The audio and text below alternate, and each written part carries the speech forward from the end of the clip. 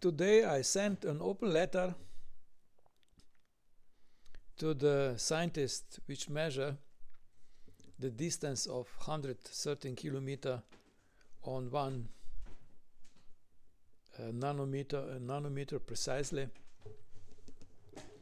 that actually their scientific achievement is extremely important because it will prove or it will disprove expansion of the universe. On the distance of uh,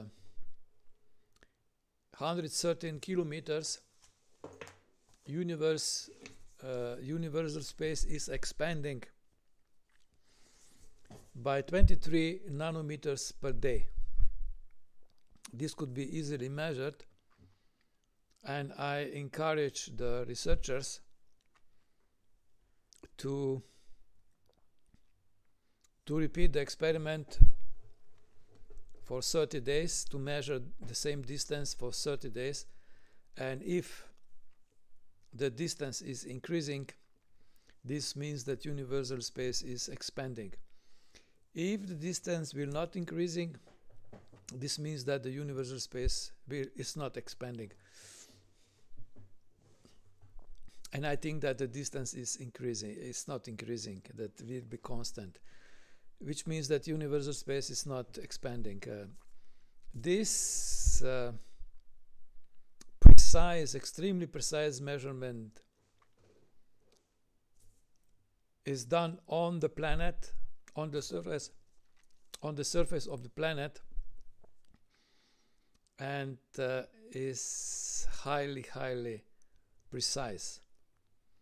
And on the base of this scientific technical achievement, we can now see if the universal space is expanding. I did some calculations uh, recently about how the length of the year should increase because universe is expanding but it is very difficult to measure so precisely the length of the year uh, but uh, this distance was was measured extremely precisely and uh, now we can see if universe is expanding or not.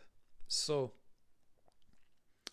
I hope that researchers will uh, answer and that uh, we will we will have in the next year now this new experiment which is of ex extreme beauty which will confirm universe is expanding or not.